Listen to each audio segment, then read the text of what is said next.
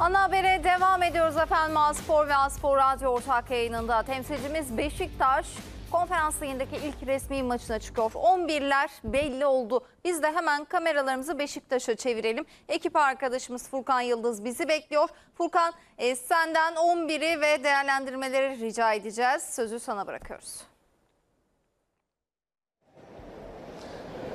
Ceyda gün boyu aslında A-Spor ekranlarından da paylaştığımız muhtemel Beşiktaş 11'i resmi 11 olarak da açıklandı. Siyah beyazlar bu akşam yeni sezonun ilk resmi karşılaşmasına şu 11 ile çıkacak. Kalede Mert Günok forma giyecek. Dörtlü savunmanın ise sağ tarafında Valentin Rozier, sol tarafında Artur Masuaku, stoperde kaptan Necip'le beraber Omar Koli. Orta alanda ise Hacı Ahmetoviç, Salih Uçan ve Jetson Fernandez. Hücumda ise sağ tarafta Onur Bulut, sol tarafta Jackson Muleka ve en uçta Santrafor mevkiinde ise Vincent Abubakar. Bu akşam Beşiktaş'ın 11'i olacak. Tiran karşısında ve hemen Sabah gazetesi Beşiktaş muhabiri o gün Şahinoğlu'na 11'i sorarak bağlantımıza başlamak istiyorum. O gün 11 aslında çok da seçeneği yoktu Şenol Güneş'in. Eksikler vardı Beşiktaş'ta bu maç öncesinde ama e, bu akşam nasıl bir oyun bekliyorsun Beşiktaş'tan?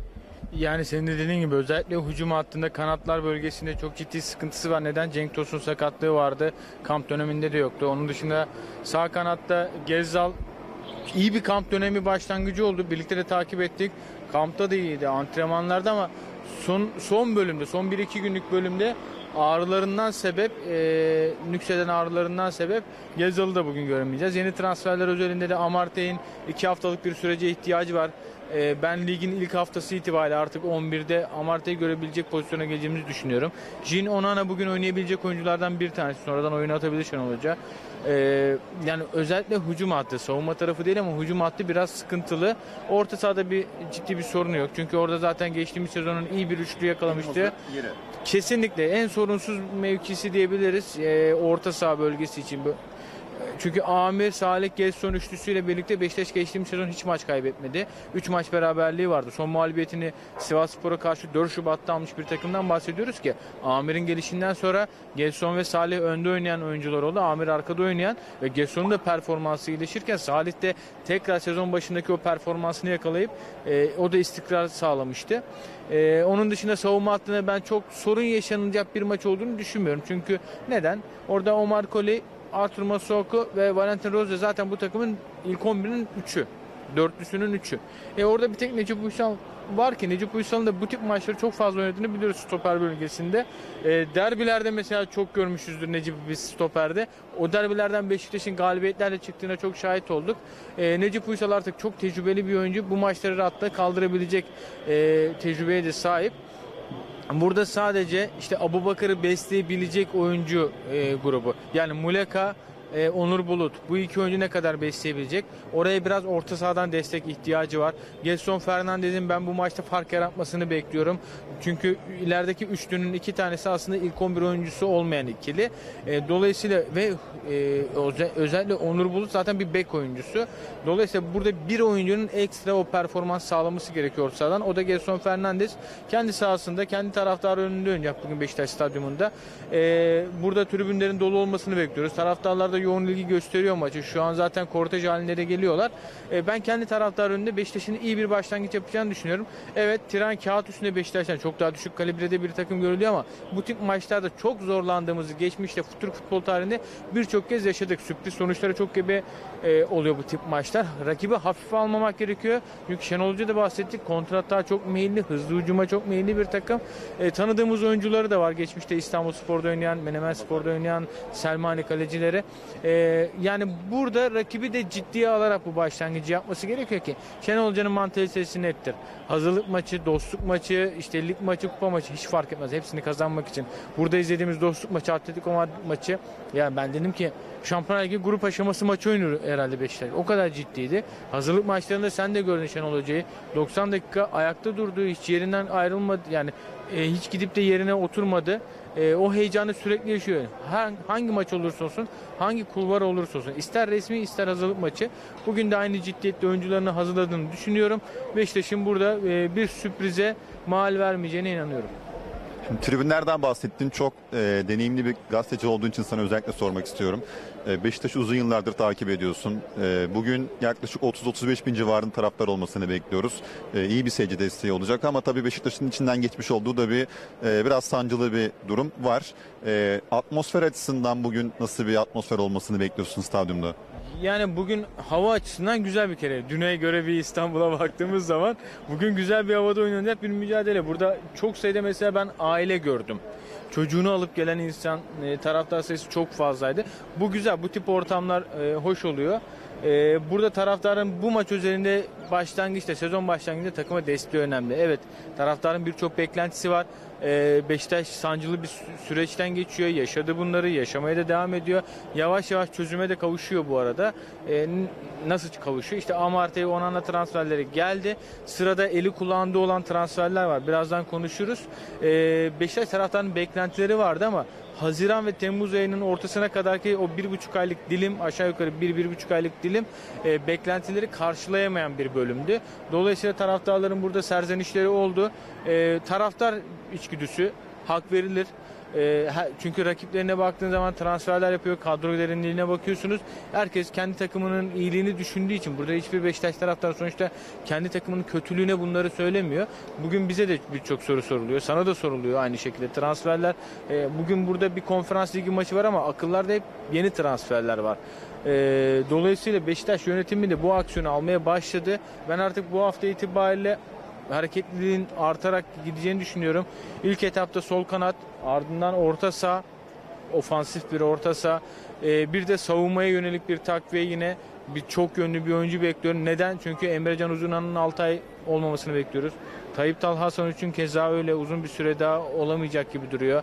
E, elde kalan oyunculara baktığımız zaman şu an stoper hattında Omar Koley var, Montero var ki Montero yani Şenol Hoca'nın gözüne girdi bu arada bunu anlıyoruz.